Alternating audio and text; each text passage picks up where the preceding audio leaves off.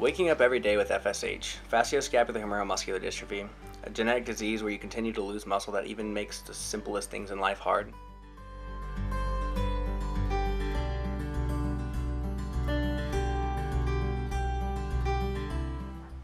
One day, I won't be able to smile, do a push up, or even close my eyes.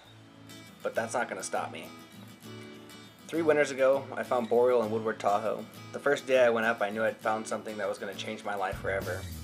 It was something that gave me an out of body experience. It was a thing that made me forget about my FSH and the hard days that I had.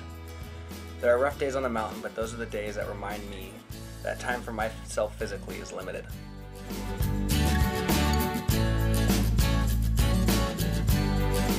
Having a condition where you know that you're going to have a hard time walking or washing your hair makes you appreciate today and the things that you're able to do a lot sooner in life than most people will ever understand. I have been given an amazing opportunity to take you on my journey, to show you that snowboarding isn't just about the biggest features or the best powder. For me, strapping in on top of the mountain with the wind in my face and the sun beating down on me, knowing I get to take one more run, that means the world to me. The day that I lose this sport, I'll know I'll have those moments standing on top of the mountain to look back on and smile.